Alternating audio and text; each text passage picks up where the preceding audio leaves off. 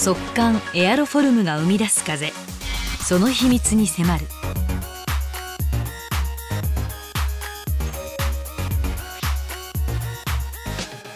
高速飛行を誇る雨燕の羽を応用したファンが進化。高速で回転しより速い風をより多く生み出す。風の渦を整えながらまっすぐ長く吐き出すことでさらに加速。これが高速ダイナミック風。